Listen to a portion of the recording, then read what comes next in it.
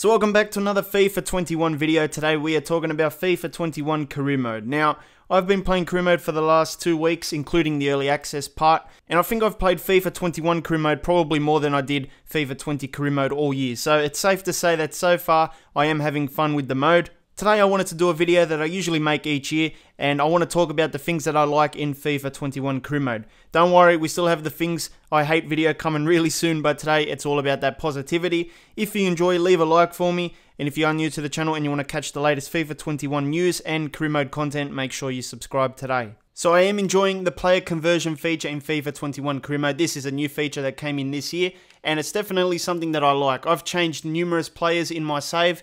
If you take a look at players like Pereira, there's three positions on the guy. Scott McTominay became a CM from a CDM. Ousmane Dembele, I believe, was a left winger and then he became a right midfielder. Uh, Greenwood as well, from a right midfielder position up to a striker. This is a very nice feature because it lets you um just make your players more versatile. Like sometimes you don't have the money to go and buy players in different positions that you need, but then you've got some players in your team that can do the job if you convert them. So like a Greenwood, I didn't have much going up front in the striker department. So I just converted him from a right mid to a striker. And, you know, after a couple of weeks, he was playing up front for me like a normal striker. So, yeah, sometimes it's just good because you don't have to spend money. You can make your players more versatile, give them two or three different positions. And uh, I've used this already numerous times. I didn't expect to like it as much as I have. So this feature as well came in this year, and uh, I do like this feature. It's a nice uh, thing that EA put into the game, and that is the ability to, you know, grow the position. And you can see with players like Harry Maguire, you can leave them on a balanced plan, but sometimes it doesn't grow the certain attributes that you actually want from a player. Like, why would I want to improve his free kick accuracy? It's not really important. I'm not going to be taking free kicks with Harry Maguire. So what I do, I put him as a stopper, and you can see that it concentrates on the most important attributes of that stopper role. Obviously, a balanced plan might be good for most of your players, and that's what I've done at the moment. But for certain players that might be underperforming, you might want to make them a bit quicker, like a Harry Maguire or something. This feature is going to be good for you. Now, one thing I like in FIFA 21 Crew Mode as well is the fact that EA has made the process of getting into the match a bit quicker. So if we take a look at the play match button, before you would have to like select the side, select your kits, all that kind of stuff, but now it's auto selected. So pretty much all you have to do is press that button there, play match, and you're good to go. So it's nice now that EA has decided to make it a automated process where you can just click it and in one or two seconds you're into the match ready to go. And while we're here, I'll also mention that I do like this new pre-match feature, this new screen that EA has where it shows you the probable lineup. It's better than what we had before, you know, and it's nice to see new menus in career mode. Sometimes you get bored of seeing the same thing. Obviously, most of the core fundamentals of career mode are the same in terms of the menu design and stuff, but this is new and it's nice to see new stuff every now and then. Now, one thing I do like as well this year is the visual sim feature. This one is very useful because it gives you more control when you decide to sim a game. I don't really sim too many games in career mode, but when I do, I'll pick this over the quick sim just in case things start going wrong. You can jump in within a matter of seconds and you can start playing the match, try and rescue your team out of trouble.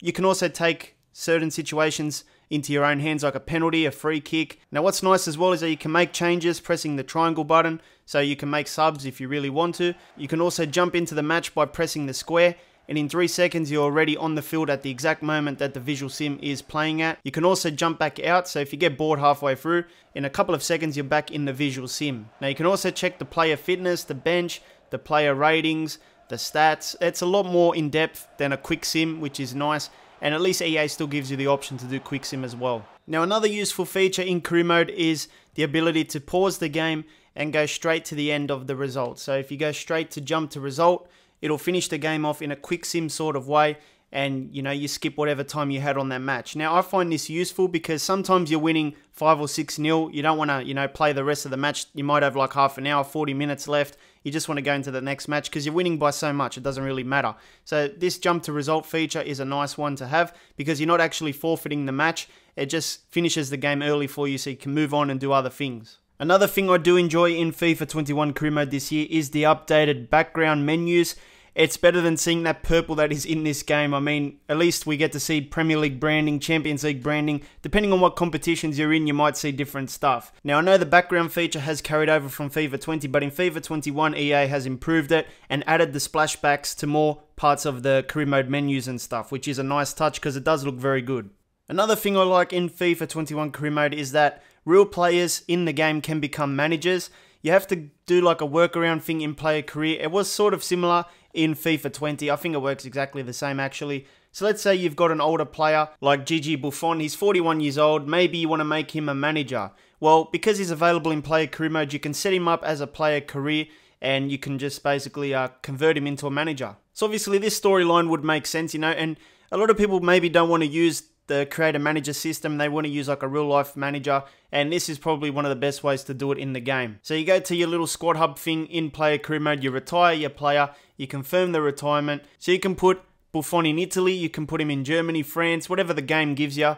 So let's say you want to do Crotone or something, you just sign a contract like you normally would, and it takes you straight into manager career mode with Buffon. And the good thing about this as well is that many years ago, you know, when you would retire the player, he wouldn't even have the real face in manager mode. He would have like a generic face, but it looks like in FIFA 21 it still works. The players you retire keep their real face in manager career mode, so that looks pretty good. Now, one thing I do like in FIFA 21 career mode, and it's another new feature EA introduced this year, that is the financial takeover setting in the pre-setup page for career mode. Now the EA catalog did have a few financial takeover tokens you could redeem, but it wasn't a really good system and EA decided to scrap it in FIFA 21 and they put the setting into this tile here. Now this is good because you can create different storylines for each club depending on how much money you want to give them. Of course you can disable it but you can also enable it and give them little budgets or massive budgets like 500 million, which is going to be unrealistic in most cases, but it all depends on what you want to do. So let's say you've got Sydney FC and they've got a budget of 4.2 million. This can be any club like a League 4 team or something,